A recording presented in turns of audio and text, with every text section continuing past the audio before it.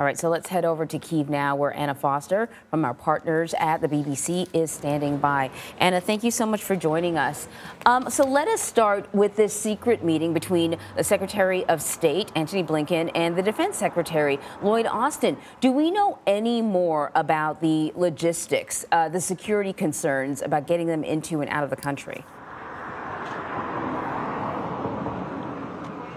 Well, the logistics are really interesting because meetings like this are normally kept secret until after the high profile individuals have been, had their meetings and left again. But President Zelensky held a press conference here in Kiev in a metro station deep under the streets of this city the day before on Saturday night. And he announced this visit before it actually happened. Now, the White hmm. House didn't make any further comment until after those meetings had been concluded and they were safely back in Poland. But it just shows you how important it was for President Zelensky and for Ukraine to have them visit here to announce that extra more than $700 million of spending and also to give that supportive message as well that the US stands alongside Ukraine to bring people here to this city, which is still, like everywhere else in this country, under a security threat, showed a real partnership as this war continues.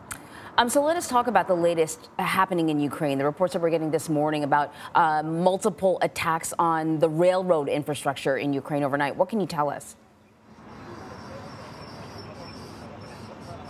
That's right. So I'm here at the main railway station here in Kiev. This will be where uh, Secretary Blinken and Secretary Austin arrived yesterday. You can't fly into this country at the moment, remember. And just a few hours after they left, we saw this morning these five Russian attacks, we're told, on different parts of the railway infrastructure. Now, it has been an absolutely crucial part of Ukraine during this war. Millions of people have moved through this station to safer places in the west, and a whole lot of equipment has moved from the west to the east where it's needed. So when we see these attacks this morning on things like traction substations designed to disrupt this heavy duty railway system, which has kept running through this war so far, it sends out a new message from Russia at this stage in the conflict. And what about negotiations? Where do they stand? It's been weeks since uh, Ukrainian and Russian officials have gotten together. Do we do we know whether or not perhaps this U.S. visit may have an impact on negotiations?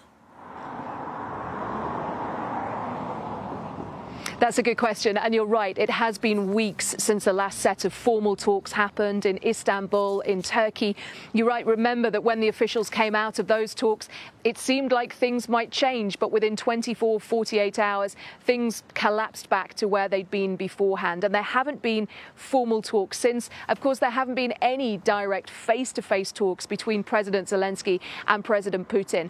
I think these latest developments with the US visiting here shows shows that there is a push, a push towards trying to find some sort of peaceful resolution to this conflict.